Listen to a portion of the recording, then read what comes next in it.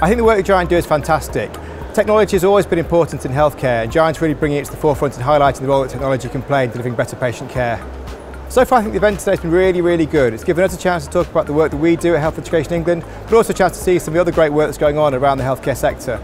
I think one of the biggest steps forward in healthcare recently has been the use of artificial intelligence and machine learning in order to do various clinical tasks, whether that be interpreting images or, or other kind of ways that AI and new technologies can be used to make things more efficient and more accurate to deliver better patient care. I think some of the work we're doing within the Technology Enhanced Learning Programme around extended reality and how that can be used in, in immersive, immersive simulation uh, examples. So with the pandemic, it's been harder to be face-to-face, so the ability to use technology to replicate that face-to-face -face simulation experience, I think is a big win for us, and that's what we'd like to show the Giant event later in the year.